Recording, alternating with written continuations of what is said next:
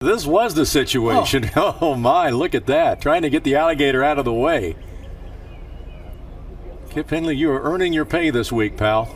That's amazing. He's a brave. He's still not going anywhere at this point.